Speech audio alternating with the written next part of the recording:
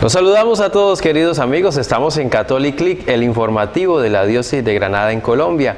Hoy es viernes 14 de febrero del año 2020 y estos son los acontecimientos más importantes de los últimos días en nuestra diócesis de Granada en Colombia.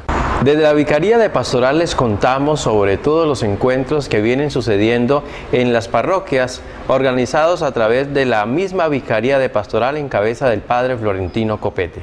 Durante el mes de febrero, el padre Florentino Copete, acompañado del seminarista Oscar, han preparado y dirigido los encuentros donde laicos, religiosos, religiosas y sacerdotes han podido encontrarse para vivir un momento especial de oración y reflexión que es el alimento espiritual que nunca debe faltar en la vida del cristiano.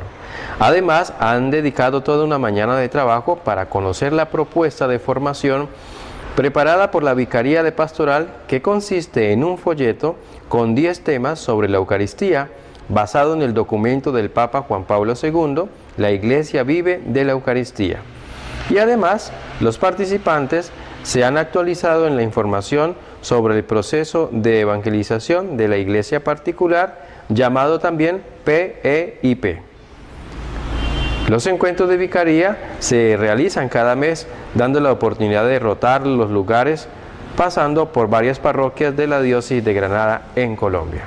Les queremos contar también que del 27 al 31 de enero, los docentes y administrativos que elaboran en la Pastoral Educativa de la Diócesis de Granada en Colombia se dieron cita en la Casa de Encuentros San José para un momento de formación. Esta jornada de formación fue orientada por 12 facilitadores del Movimiento de Educación Popular Integral y Promoción Social Fe y Alegría Colombia Asimismo, se vincularon a esta jornada Monseñor José Figueroa Gómez y siete sacerdotes que acompañan espiritualmente a los municipios donde la diócesis de Granada administra la educación rural. Esta experiencia, además de formar a los docentes de manera integral, busca incidir de la misma manera en estudiantes y padres de familia, con ejes como la espiritualidad, la pastoral, la convivencia y la pedagogía teniendo en cuenta objetivos como proporcionar un espacio de formación integral al personal docente, directivo y administrativo con el fin de fortalecer su rol como constructores del tejido social en contextos educativos.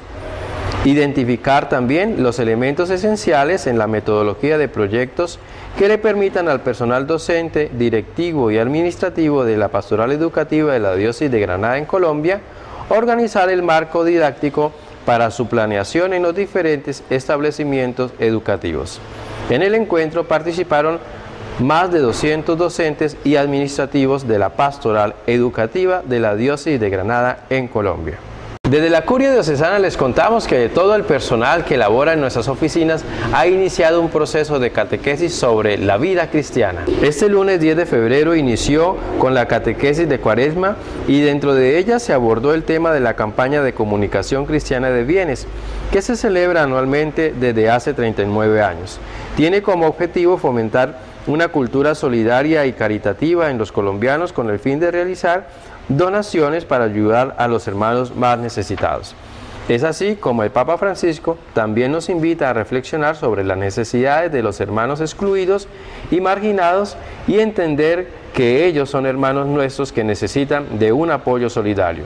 Por esta razón la diócesis de Granada en Colombia está invitando desde ahora para que todos estemos atentos de las actividades que se animarán desde cada parroquia así como la participación en el quinto banquete de la misericordia que se realizará el próximo 20 de marzo y que consiste en comprar un bono solidario para apoyar las obras de caridad en beneficio de los más necesitados.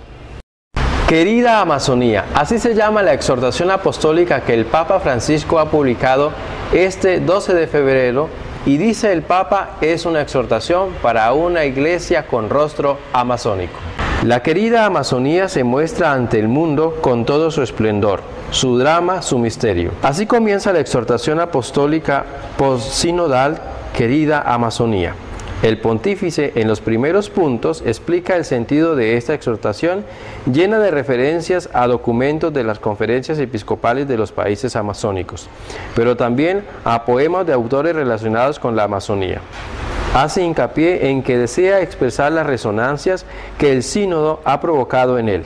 y precisa que no pretende sustituir ni repetir el documento final que nos invita a leer íntegramente, esperando que toda la Iglesia se deje enriquecer e interpelar por él y que la Iglesia de la Amazonía se comprometa en su ampliación. Así que los invitamos para que todos puedan adquirir el documento de la exhortación Querida Amazonía, publicado recientemente por el Papa Francisco. Esto es todo por hoy, queridos amigos. Los invitamos para que continúen acompañándonos desde las redes sociales y recuerden que esto es Catholic el informativo de la diócesis de Granada en Colombia.